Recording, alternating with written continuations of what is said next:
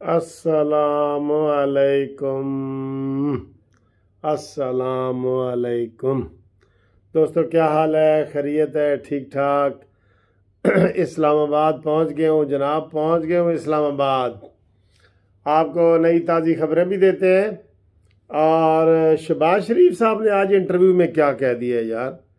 शबाज शरीफ साहब ने आज अभी जो कैपिटल टॉक पे इंटरव्यू लगा है, हामिद मीर के साथ उसमें गुफ्तगु करते हुए कहा है कि जनाब, नई पाँच साल के लिए कौमी हुकूमत बनाई जाए।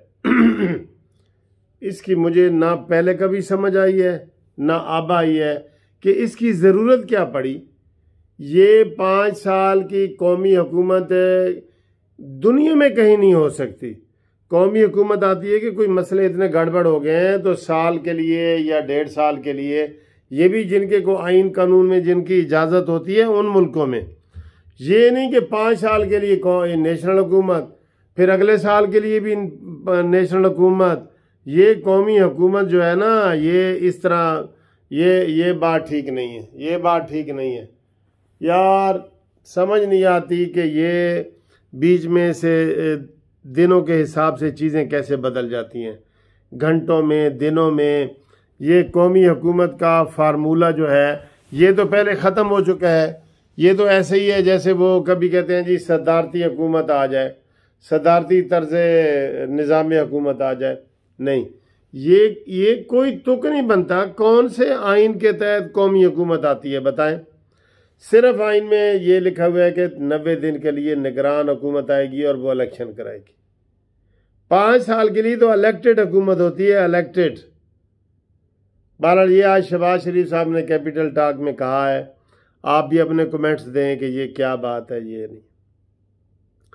फिर एक बात हो परवेज दलाई के बारे में मुझे बड़े फ़ोन आ रहे हैं कि आज फिर जनाब वो थोड़ा सा आ, कल जो उन्होंने बातें की हैं थोड़ा सा उसके ऊपर डी ट्रैक हो रहे हैं तो कह रहे हैं जी कि जेड़े गुजरात के चौधरी ने इन्हों तो एतबार नहीं किया जा सकता। ये बात तो ठीक है ये एतबार के काबिल नहीं है।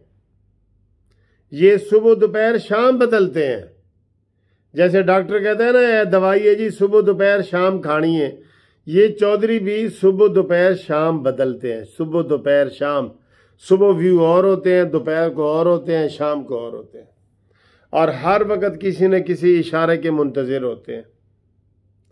कल क्या कह रहे थे और आज क्या कह रहे थे?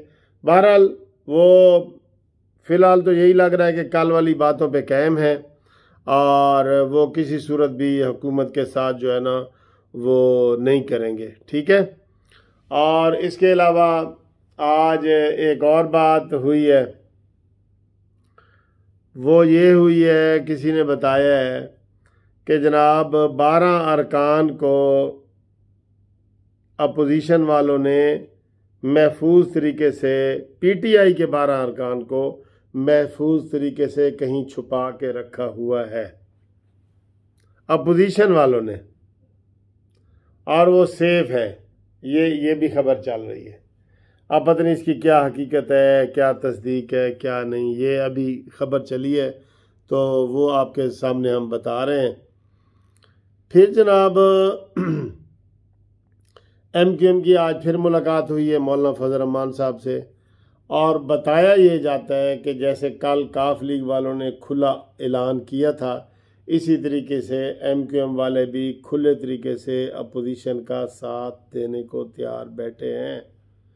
लेकिन उसके लिए ये है कि वो आज या कल इस्तीफ़ा दे दें, क्योंकि काफ लीग के भी वज़ीर हैं एम क्यू एम के भी वज़ीर हैं तो ये इस्तीफ़ा दे दें आखिरी दिन देंगे। सर जी, ये इन लोगों को आप नोट करें, जो अब तक क्लियर अपनी पोजीशन नहीं ना बता रहे।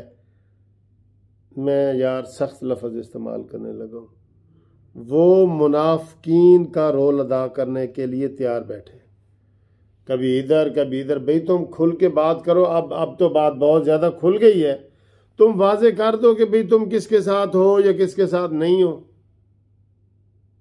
आखिर वाज है, पीपल्स पार्टी वाज है, नून लीग वाज है, मौलाना फजल रमान साहब वाज है ए एन पी वाज है। तो जो इतिहादी हुकूमतें वो वाज क्यों नहीं होती? उनको वाज हो जानी चाहिए। और आज जो वज़ीर अला सिंध है, मुराद अली शाह उन्होंने बड़ी ज़बरदस्त की है। उन्होंने कहा, जी, इमरान खान को किसी, कहते हैं जी, वो इमरान खान दस लाख बंदे ला रहा पहले तो उन्होंने कहा जी कि पहले तो एक सौ बहत्तर बंदे पूरे करे, जेड़े लोड़ ने उत्थे दस लाख वाले तो वोट नहीं ना देना, वोट देना एक सौ बहत्तर बंदे ने। वो पूरे करे। फिर उन्होंने कहा, नहीं नहीं, इमरान दस लाख पूरे कर सकता है भाई। उसने एक करोड़ नौकरियाँ दी हुई हैं, पचास लाख घर लोगों को दिए हुए हैं। सारे ख़ानदानों का वो ख्याल करता है, उसको एक करोड़, वो दस लाख ला सकता है। बड़ा प्यारा तंज किया है उन्होंने, बड़ा प्यारा तंज किया है। आय हाय हाय हाय, बहुत प्यारा तंज किया है वैसे। कि जी वो, उसने एक करोड़ नौकरियाँ दी हैं, इसलिए वो दस लाख बंदे ला सकता है। और इलेक्शन कमीशन तुझे तो क्या कहा जाए, तू तो बिल्कुल माधु का लाल बन के बैठा है। माधु का लाल के साधु का लाल क्या होता है जी? रोज़ाना इलेक्शन कमीशन की खिलाफ वर्जी होती है और रोज़ाना नोटिस जारी कर देता है कि जनाब आंदा जनाब अगर तुम किया तो ए होएगा तो ए होएगा तो ए होएगा।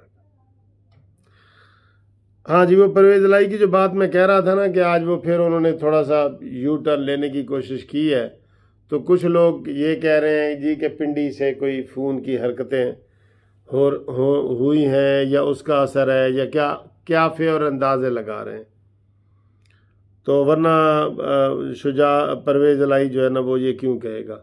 फिर ये बयान भी चौधरी शुजा से दिलाया गया है कि जी दोनों पार्टियाँ जो हैं वो डी चौक पे जलसा ख़त्म कर दें। ठीक है? ये भी कहलवाया गया है। सर वैसे इस मुल्क की बदकिस्मती है ना? कोई चीज़ वाज नहीं है वो परवीन शाकर का है या किसका है कि मैं ख्याल हूँ किसी और का मुझे सोचता कोई और है वोट ਉਹ ਪਾਉਂਦੇ ਨੇ ਨੂਨ ਲੀਗ ਨੂੰ ਤੇ ਨਿਕਲ ਆਉਂਦੇ ਨੇ ਬੱਲੇ ਦੇ ਵਿੱਚ ਤੇ मैं ख्याल हूं किसी और का मुझे सोचता कोई और है हाय हाय हाय हाय बहरहाल जी आप इसमें आज हमें उम्मीद थी कि 12 बजे तक कोई इस्तीफ़े वगैरह होंगे। और ये जो शेख रशीद है ना, इसको, इसने जो आज सख्त बयान दिए मौलाना को वैशी जट और मौला जट वगैरह के लफ्ज़ इस्तेमाल किए हैं इसने। और इसने कहा जी कि सारे बच जाएँगे, मौलाना साहब तुम गिरफ़्तार हो जाओगे। और साथ ये धमकी दी है कि सारे मदरसे पंजाब में हैं तो मौलाना साहब तुम होश के नाखुन लो। और ये ये सारी बातें उन्होंने की हैं, ये बहुत गलत बातें की हैं। ये ये तरीके इनका ये है कि एक तरफ़ से धमकी दो, दूसरी तरफ़ से पाँव पकड़ लो। पाँव पकड़ लो, भाई, अल्लाह का नाम है माफ़ कर दो, माफ़। इधर धमकी दो कि हम देख लेंगे, हम एफ़ आई आर कटवाएँगे, हम मोना सलाई को गिरफ़्तार करवा देंगे, ये ये बातें सारी सुन रहे हैं ना आप? और दूसरी तरफ़ मिनते तरले चलें जी। आप से इन ताला मज़ीद बातें करते हैं। तो फ़िलहाल यही है कि चौधरीियाँ का इतबार कोई नहीं। मौसम फल कोई, दरख्त दरख्त कोई, फलदार कोई नहीं। ते चले छोड़े, एक और वो आ रहा था फ़िक्रा इसमें, शेर व शायरी में। वो ज़रा मुनासिब नहीं था। और इमरान खान ने आज फिर गालम गलोच की है, सारा कुछ किया है। हाँ हमारे वकला ने जो आज ज़बरदस्त प्रेस कॉन्फ्रेंस की है ना, उन्होंने ये कह दिया है कि हम सुबह जो है वो सुप्रीम कोर्ट में एक पटिशन दायर कर रहे हैं, जिसमें हम ये यकीन दहानी चाहते हैं कि स्पीकर अपना कानूनी रोल अदा करके हर मेंबर को आने की इजाज़त दे। वो ये भी माधु का लाल ना बन जाए कि जो इमरान कहता है उसी को मानता है। बेकार स्पीकर है वैसे, स्पीकर बेकार है, बिल्कुल। स्पीकर भी, डिप्टी स्पीकर भी, ये सब बेकार है। ये सब जो है ना, ये हकूमत के इशारों पे चल रहे हैं। मुझे बड़ा अफसोस होता है। हालाँकि मैंने बचपन में आइन की किताबों में और हर चीज़ पे पॉलिटिकल साइंस की किताबों में पढ़ा था कि जो स्पीकर होता है, जब वो वो होता तो किसी पार्टी का होता है लेकिन जो ही वो हलफ लेता है, वो गैर जानबदार हो जाता है।